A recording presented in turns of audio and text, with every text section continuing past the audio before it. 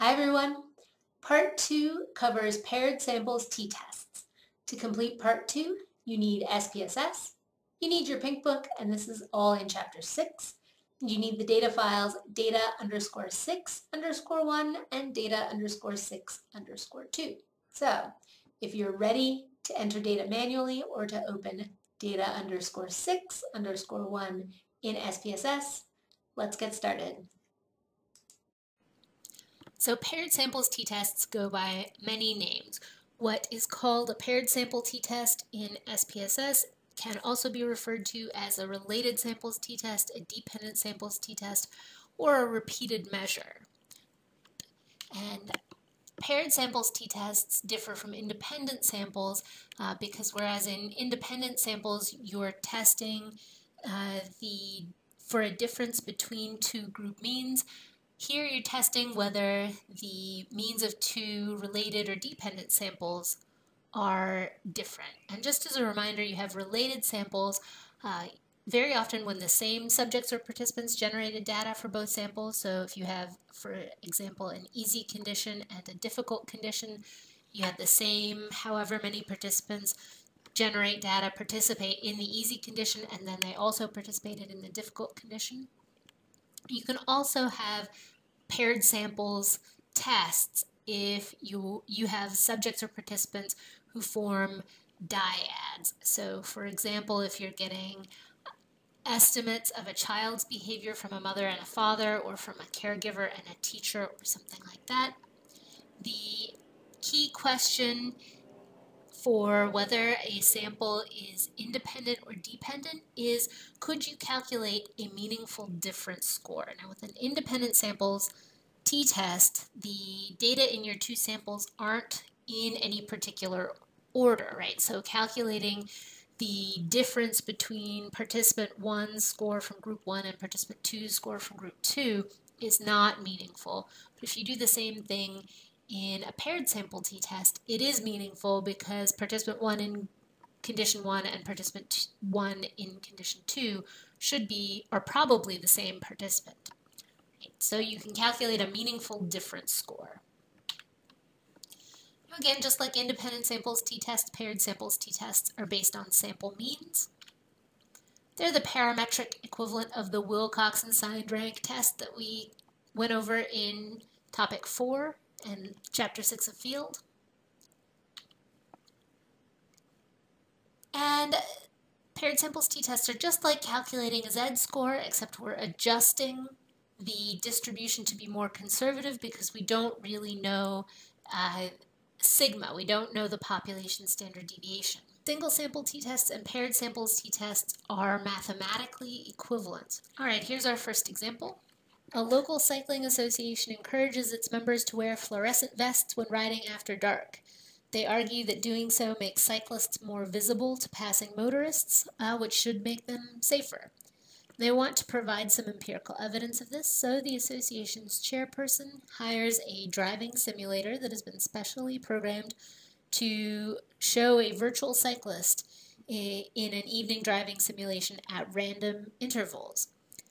When the cyclist appears, the driver who's participating must respond as quickly as possible by pressing a button located on the simulator steering wheel. So this is like saying, oh, I recognize that the cyclist is there and I have to be aware of their presence and not uh, crash into them, not drive them off the road, whatever.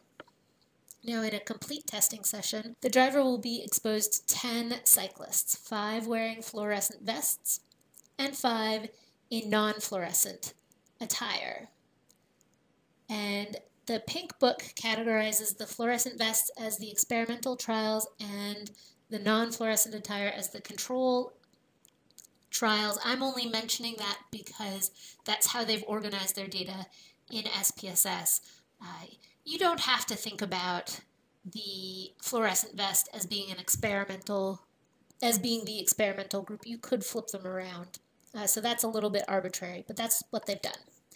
Anyway, these trials are presented in random order. Now that's important because you wouldn't want to test everyone with five trials of the non-fluorescent attire followed by five trials of the fluorescent attire or vice versa, because if you got a difference in reaction time, it could be a practice effect, right? It could just be that the drivers get better at reacting because they become more accustomed to the simulator. Anyway, after all 10 trials, the driver's average reaction times for both the fluorescent and non-fluorescent vest conditions can be calculated. And it's those averages for a group of 15 participants that are reported in Table 6.1. The chairperson thinks that reaction times would be faster when the cyclists were wearing fluorescent vests. So here we have Table 6.1. All right, so let's go over this. Let's uh, think about what's the independent variable, the dependent variable, what's the re research question, what's the null hypothesis, and what is an alternative hypothesis. Okay, so the independent variable is the cyclist attire, whether it was fluorescent or not. And the dependent variable is the reaction time in milliseconds in the driving simulator. So this is a nice applied research uh, problem. One way we might word the research question is, do drivers react differently depending on what cyclists wear? And the null hypothesis then would be that reaction times were not affected by virtual cyclists' attire. All right, and you'll note that the Pink Book says that chairperson thinks that reaction times will be faster during the experimental trials, that is, when the cyclists are wearing fluorescent vests. So that's a clear one-tailed hypothesis. Right? However, you'd probably be interested in statistically significant results in either direction. That is, unless your real goal is to sell neon clothes rather than to make cyclists safer, you would want to know if drivers reacted faster when the virtual cyclist did not wear fluorescent clothes. So I think it makes more sense to conduct this as a two-tailed hypothesis. So our alternative two-tailed hypothesis would just be that reaction time was different when the virtual cyclist wore fluorescent clothes versus non-fluorescent clothes. Now I've got the data sets for chapter 6 we're going with the first example. So I'm going to open up data underscore 6 underscore 1 dot sav in SPSS. And here's the data file. Now, if you want to enter these data from table 6.1 on page 62 into SPSS by hand yourself, you want to have two variables. So if we go into variable view, you need a control variable. You don't have to call it control, but uh, Allen Bennett and Heritage have called it control that reports the average reaction time data collected during the control that is the non-fluorescent trial. So that's that second column in table 6.1. And notice they've added a label, but no value labels. And that's because this is a scale measure right? Milliseconds, reaction time in milliseconds is a scale variable, so we don't need to specify what those numbers mean. You also need a second variable, the what the Pink Book has called EXP, or for experimental, the average of the reaction time data collected during the fluorescent vest trials. Now, just like we've done in previous examples, you might want to set up an ID or participant number identification just to help you keep track of your participants. Now, before we can do anything with the data file that we've now got set up, we need to check the assumptions of paired samples t-tests. Uh, and just like last time, there's not consensus among psychologists about when or whether ordinal scale measures can be assessed with parametric tests.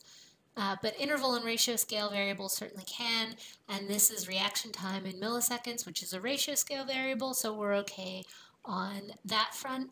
The assumption of independence of observations is a design issue. You'd want to make sure that each participant participated in each condition exactly once. Now for normality, we're going to look at QQ plots again in addition to histograms. In this case, we have sort of two different versions of normality. So the group of scores, each group of scores, that is the reaction times when the virtual cyclist was wearing the fluorescent vest versus the reaction times when the virtual cyclist was not wearing the fluorescent vest should both be uh, drawn from normal distributions, but the critical assumption here is that the difference scores, the differences between pairs of scores should be normally distributed because that's actually what we're doing, that's the underlying math of what we're doing the statistical test on. Now there's no assumption here for homogeneity of variance. In this case, homogeneity of variance does not apply because effectively we only have one sample, right? That's the sample of different scores. All right, so the main thing we want to assess is whether our different scores are normally distributed. But you'll notice that we don't have different scores in our SPSS dataset. So the first thing we need to do is calculate a difference score. And the way I'm going to do that is compute a new variable. So click on transform and then compute variable.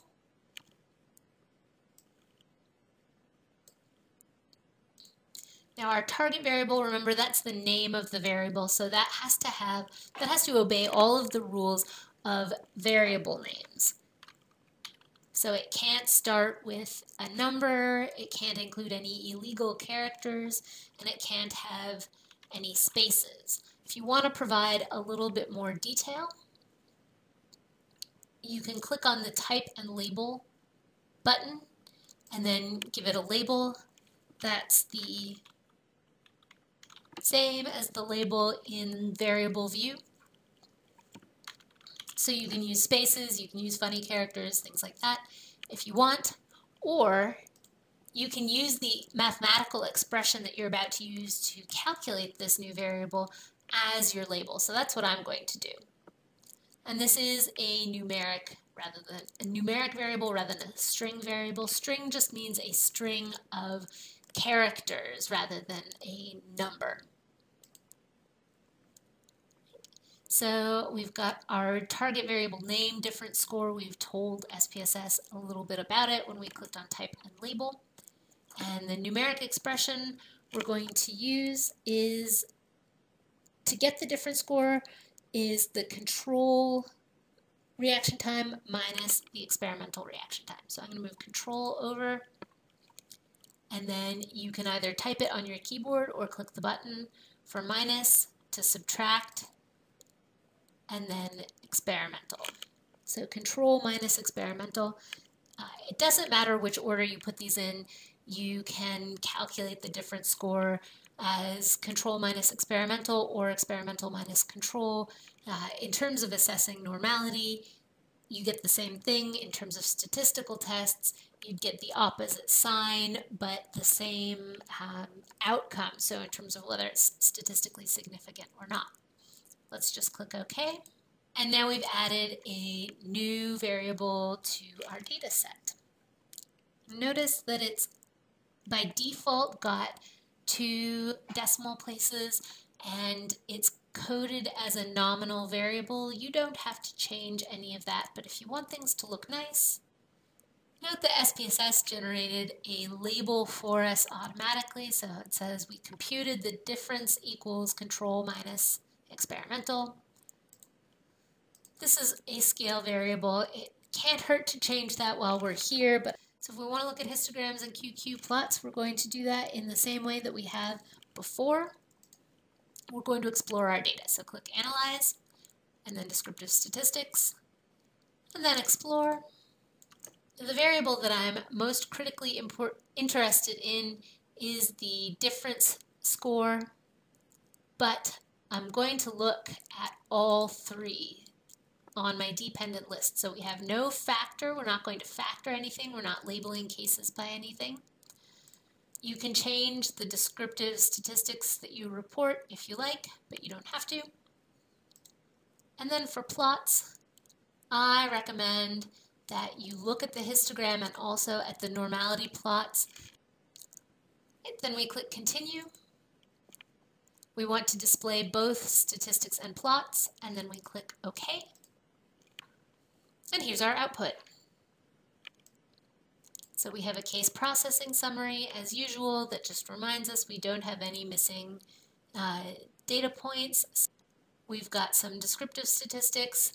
So note again, uh, as we've seen before, the upper bound for the experimental 95% confidence interval is below the lower bound for the control 95% confidence interval. So those confidence intervals we can tell just from the descriptive statistics do not overlap.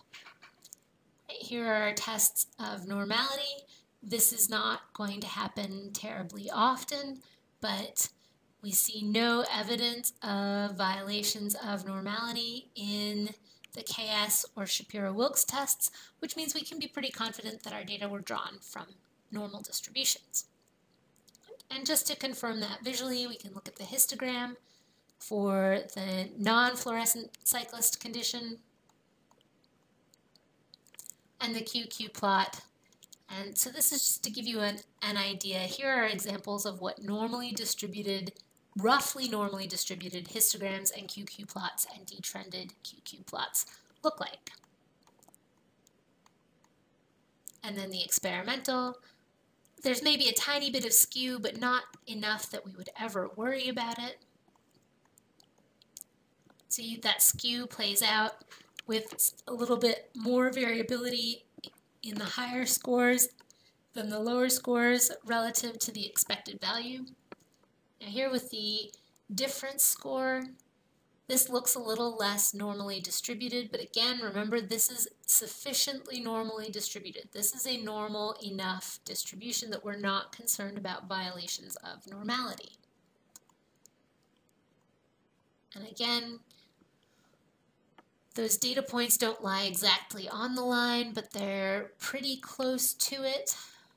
And we've got about equal numbers of data points above the zero line as below the zero line in the detrended plot. And we've got what looks to be a fairly symmetrical uh, box plot.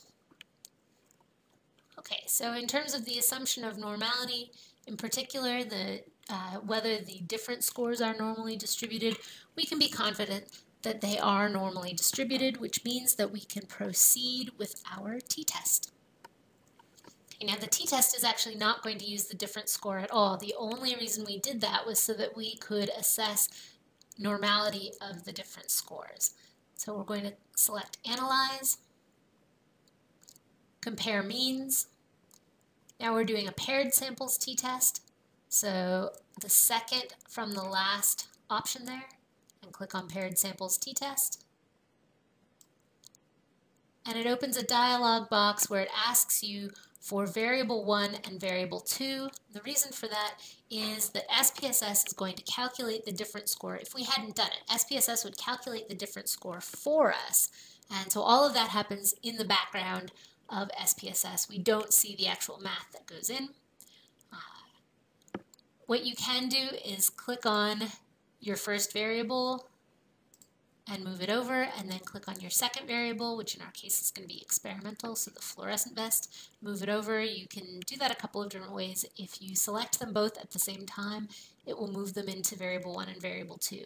Um, like I said before, it doesn't matter whether the non-fluorescent condition is in variable 1 and the fluorescent in variable 2 or vice versa. The only thing that changes is the sign of the statistical test. So in one case you'd get positive 2.75, then in the other case you'd get negative 2.75. Um, okay. As far as options go, those default options are uh, going to fit in most cases. So we'll click continue. Now I just want to note we haven't specified anywhere whether we want a one-tailed test or a two-tailed test. The default is two-tailed, and we are doing a two-tailed test, so we're fine. So let's click OK. Okay, so with the dependent samples t-test, we get three tables in our SPSS output. The first one just shows us some descriptive statistics. So the mean, the sample size, the standard deviation, and standard error of the mean for reaction times from each condition. The second table shows us the correlation. So it calculates a correlation between reaction times in the non-fluorescent condition and reaction times in the fluorescent condition. And then the third table has our test statistics. Okay, so from the first table, we can see that the mean reaction time was higher or slower when the virtual cyclist was not wearing neon.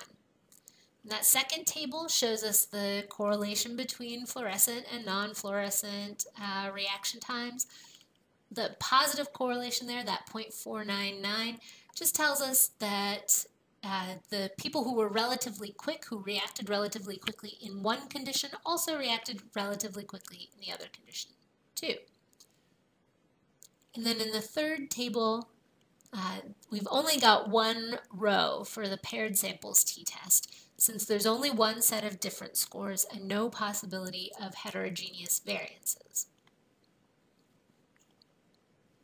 So this tells us something about descriptive statistics for the different scores and uh, actually gives us a 95% confidence interval as well. And then gives us details about the test statistic. Uh, now, a couple things I want you to note. In this case, we've got a t-score of 8.391, which is pretty high for a t-score. We have 14 degrees of freedom. Now, recall that we had 15 participants, so 15 pairs of observations, which means that we have uh, 14 degrees of freedom. In a paired sample t-test, we only lose one degree of freedom because we're only calculating one difference score. And then that significance level, 0.000, that's our p-value, and that tells us that the difference is statistically significant. So we can conclude that reaction time in the non-fluorescent condition was significantly slower than reaction time in the fluorescent condition. We're also going to want to compute a, an effect size. Just like in previous examples,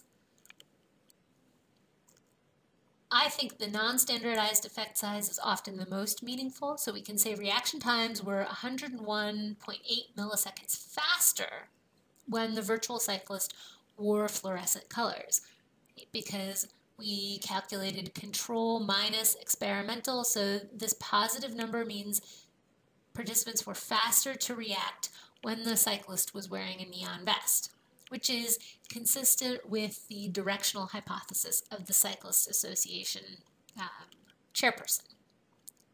And note that you'd probably also want to report that 95% confidence interval when you report the non-standardized effect size.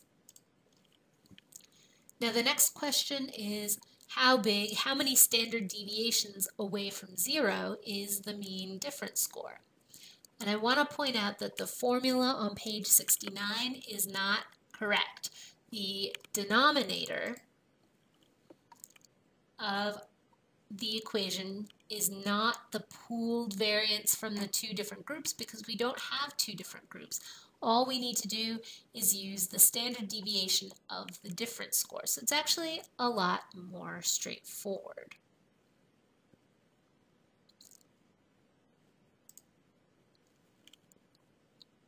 Okay, so another way of writing M1 minus M2 is just M difference. So the difference between the mean for the control condition and the mean for the experimental condition is the same as the mean difference score, which we've got reported up here. This is just sort of the first half of that third SPSS output table. So we want the mean for that difference score in the numerator and the standard deviation for that difference score in the denominator. We happen to have both of those in this table. So you can calculate that for yourself. What you end up with is 101.8 divided by something that is very, very slightly less than 47. You get something close to 2.16. All right, so we would conclude that a difference of 101.8 milliseconds is equivalent to 2.16 standard deviations. last thing I'd like you to do is write up these results in APA style. When you're ready, meet me on the next uh, screen and we'll go over my write-up.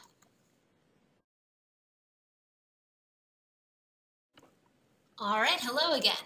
So I've written that the mean reaction times of 15 drivers to a virtual cyclist wearing either non-fluorescent or fluorescent clothing in an evening driving simulation were compared.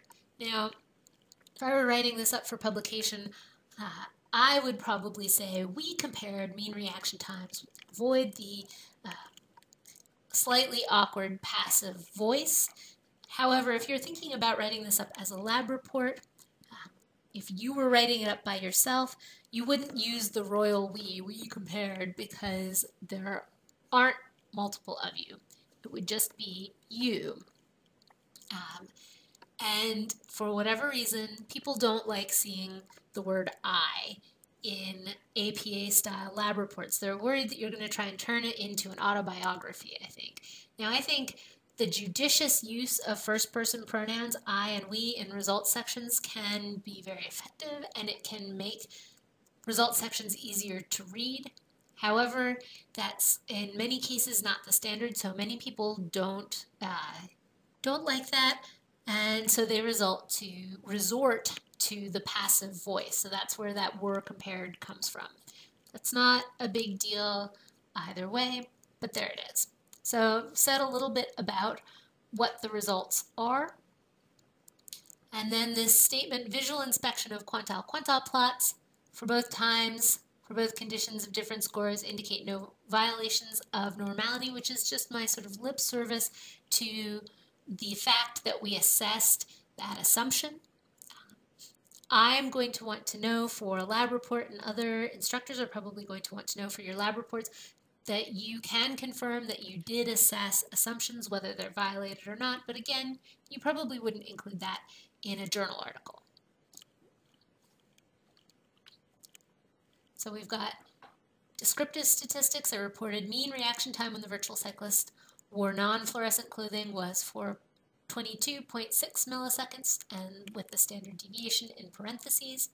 And just note that I've reported milliseconds as MS rather than MSEC, which I think is how the pink book reported it.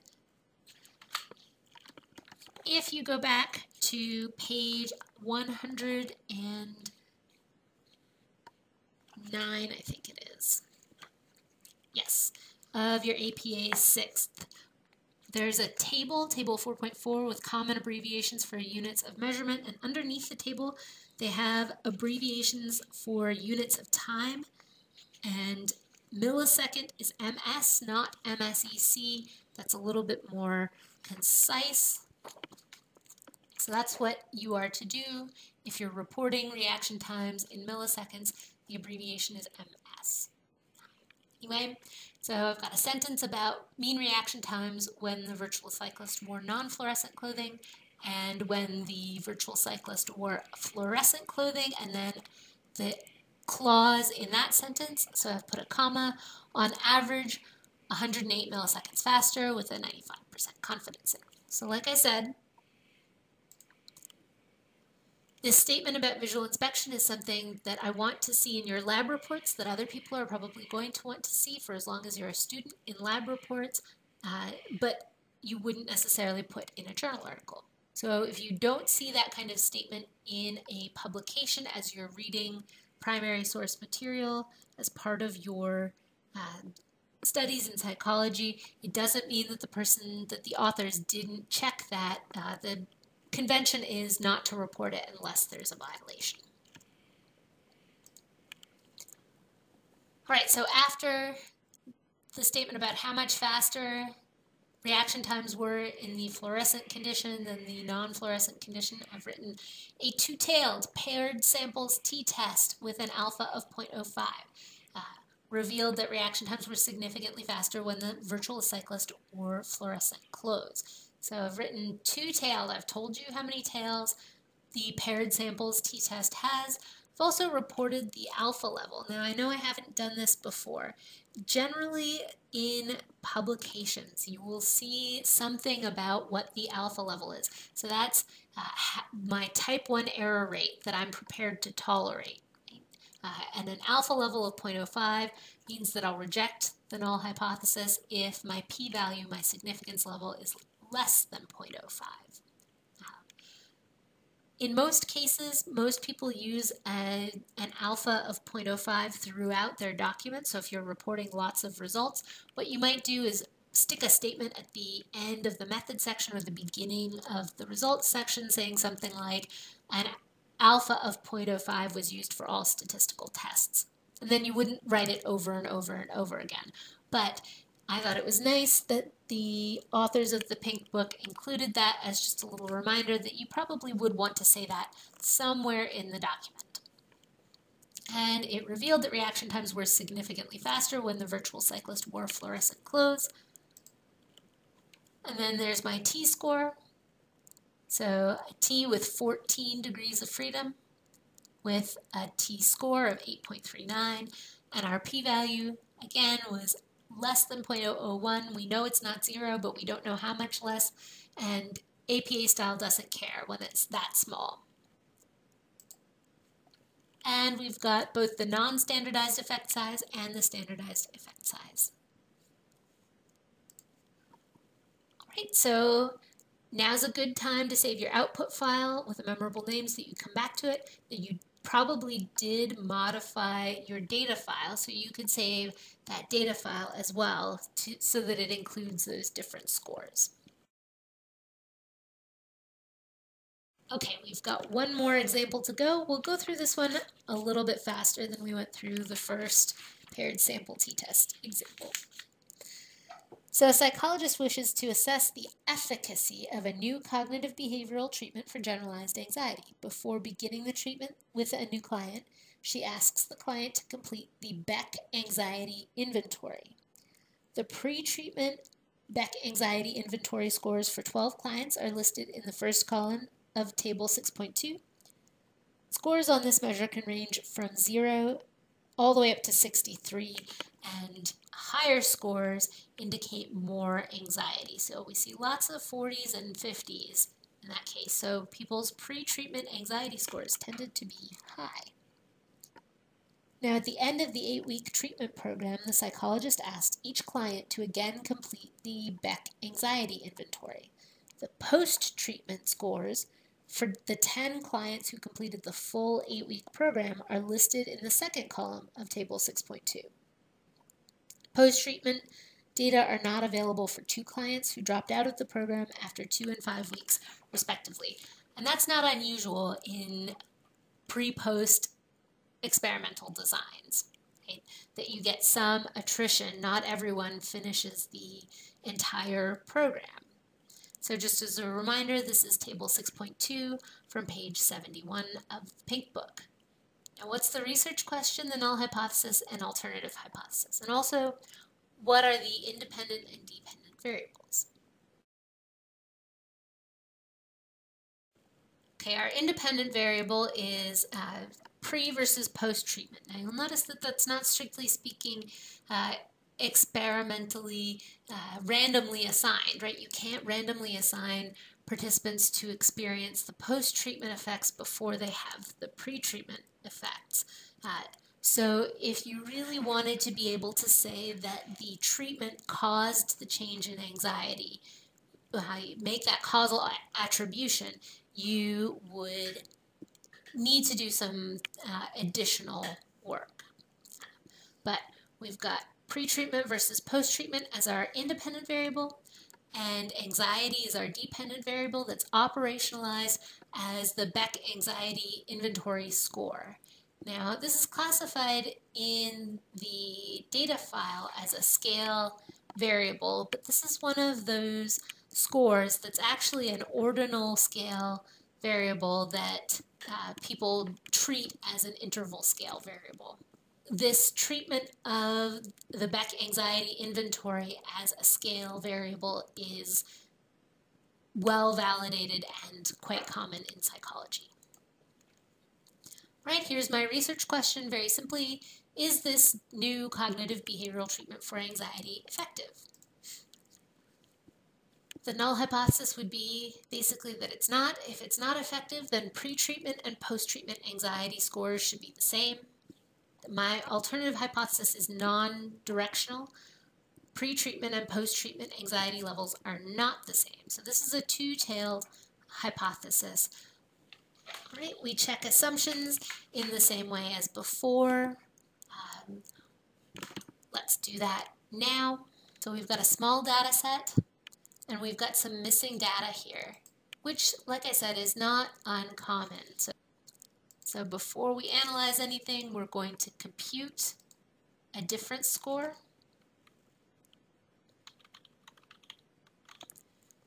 And I'm going to click on type and label and use the expression as the label. This is going to be a numeric variable because both of the other variables we are using are numeric. So let's click continue. So choose pre-treatment minus post-treatment. Notice I'm not doing anything to select cases. I'm not doing anything to deal with my missing data. I'm just going to click OK. And now we have a different score. And for those two instances where we have a pre-treatment score but no post-treatment score, we also have no difference score. So we didn't need to do anything to deal with the absence of any data. Right, the next thing we want to do is assess the normality of our difference scores. So analyze descriptive statistics, explore, and we can look at all three of them. But what's critically important is that that difference score is part of the dependent list. To look at the histogram. We're actually not going to look at the stem and leaf plots, although we can. I'm going to look at normality plots. Say continue and click OK. And note the mean pre-treatment anxiety score was 44.3 and the mean post-treatment score was 41.8. If you look at those confidence intervals, unlike the last time, we have a fair bit of overlap. Actually, quite a lot of overlap. Our mean difference score is 2.5, which means there was a mean change of 2.5 points on the Beck anxiety in inventory. And our 95% confidence interval does just barely include zero. All right, yet again, no significant violations of normality, which is good because it tells us that these data are normally distributed. So all of these data are normally distributed. Here's a normal histogram for pretreatment scores, a normal QQ plot, a normal detrended QQ plot, a normal box plot, and so on and so forth. So these are all normal distributions, or at least sufficiently normal that we can go ahead and conduct a parametric t-test. So let's do that just like last time. Analyze, compare means, paired samples t-test. So pre-treatment score is going to be variable 1, post-treatment score variable 2. Nothing fancy with the options. Right? Nothing fancy, just click OK. And we get the same three tables as before. So what we can see from these tables is that Anxiety did decrease post-treatment. We went from 44.3 down to 41.8. So that is decrease in anxiety score. It's not enormous, but it did go down. And again, we've got a positive and uh, unlike last time, we've got a statistically significant correlation between pre-treatment scores and post-treatment scores. So what that tells us is that people who started with higher anxiety scores uh, ended up with higher, relatively higher anxiety scores in the post-treatment uh, assessment. Notice we've got a sample size of 10 in both cases. And here are our descriptive statistics and our 95% confidence interval on our difference score. And our t-score with 9 degrees of freedom and the p-value. Uh, now, if we're using an alpha of 0.05, we've obtained a p-value of 0.054, which is greater than 0.05, so we would have to conclude that the difference is not statistically significant. Let's calculate the effect size. And again, recall that the formula that the pink book is using is not the uh, not the appropriate formula. So we've got a non-standardized effect size of 2.5 points, but that 95% confidence interval does include zero, kind of just barely. And Cohen's d is just the mean difference score divided by the standard deviation of the difference, which we can obtain from that third table in the SPSS output. So we have a mean difference score of 2.5 divided by a standard deviation of different scores 3.6, which gets us an effect size of 0.68. This effect size, this is about two-thirds of a standard deviation, which is uh, possibly clinically significant, right? If people are experiencing anxiety to the point that they are having trouble making it through their daily lives, then decreasing their anxiety by that amount, even if it's small, might be enough that it's worth going through those eight weeks of treatment. So, why didn't we get a statistically significant result, even though the result might in fact be clinically significant? And the answer might have something to do with our very small sample size. So think back to topic two when we talked about statistical power. So statistical power is the power of a test to detect an effect of a given size. You might have some a priori idea about how big of an effect is a significant effect, a clinically significant effect or a meaningful effect. And the thinking is, the idea is that what you would do is think about what is the smallest effect that I would consider a meaningful effect. And then you want to make sure you have a certain uh, amount of power to detect that effect. So you would do a power analysis when you're figuring out in your experimental design how many participants do I need to um, to in order to make reliable conclusions about my data. We're not in a position where we can do that because um, we were given the data that we had. So all we could do is look at uh, the 10 participants whose different scores we had. But what we can do is ask how much statistical power does this test have to detect an effect uh, that we've determined is clinically significant. Now, we've got an effect size of 0.68, but we might determine that even a half standard deviation, 0.5 of a standard deviation would be a clinically significant effect. So let's say we're a clinical psychologists and we know that we would be interested in doing more study in further pursuing this as a treatment option for our clients if we got an effect size of a half a standard deviation. So let's figure out how much statistical power we had we would have had to detect that effect. So this is a different statistics calculator. If you type in danielsoper.com uh, and then go to power analysis, this is the post hoc statistical power for a student's t-test. We might want to know, remember we decided that we would be interested in pursuing further treatment if we could decrease anxiety scores by half of a standard deviation. The probability level is our alpha, so we're going to stick with 0.05. We did not have a sample size of 30, we only had a sample size of 10. And as you can see, that gives us about 10% power for our two-tailed hypothesis or 18% power for our one-tailed hypothesis, which is really low power. So one possible conclusion here, we might conclude that these results were not statistically significant because the treatment's not effective, but it's also plausible that these results were not statistically significant because they were underpowered. Okay, if you haven't done so, now's a, a good time to save this output file. Uh, this is the fourth example we've covered for tutorial number five. Remember, you've also modified your data file, so you might want to save that as well. I'm not gonna, going to go over an APA style write-up of this example because we've already done three of those for t-tests, but I would encourage you to look at page 74 of the pink book to see how they've written up this uh, not statistically significant uh, test.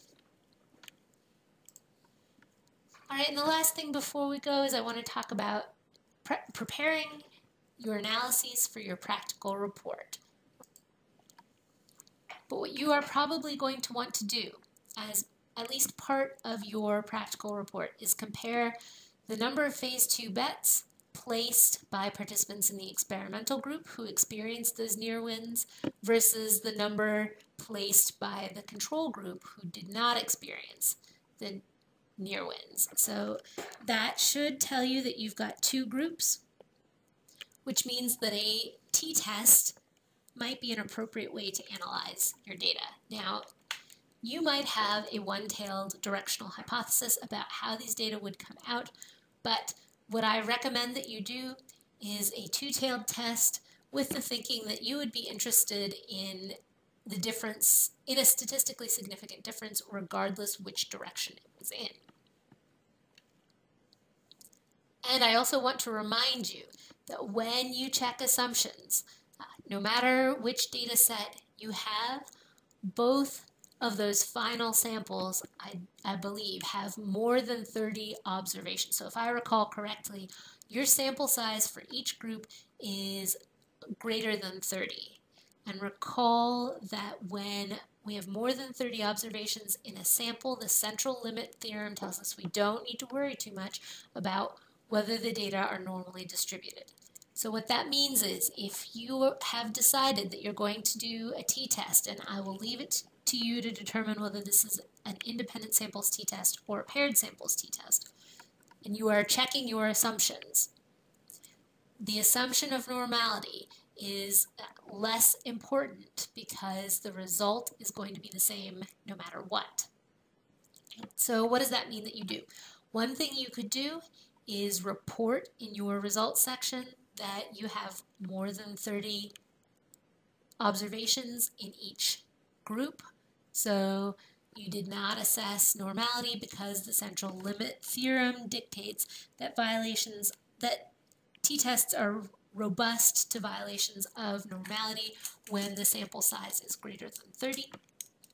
Or you could check that assumption. You could look at the QQ plots and the histograms and then say uh, visual inspection of QQ plots revealed that either this sample is normally distributed or the sample is not normally distributed or whatever the case happens to be. And then you could say, but because sample sizes were greater than 30, t-tests are uh, robust to violations of normality, so uh, whatever type of t-test was conducted. Or you could report that you checked the assumptions, report any violations if you find them, and then do and then report how you dealt with them. Right? So if you're going to transform your data, then how you transformed your data.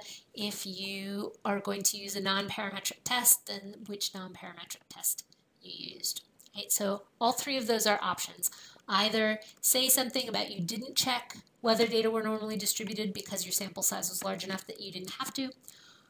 Check and then report that because your sample size was large enough, you don't have to do anything about it, or you didn't do anything about it, or check, report it, and do something about it. No matter what you do, you need to report what you do. All right. I hope that after all that, you're feeling enthused and empowered to analyze your practical report data set. If you're attending the intensive school up in Armidale, I'll see you up here in a couple of weeks. Otherwise, I hope you have a productive couple of weeks getting caught up on reading, report writing, and other work, and I will see you after the break. Bye for now.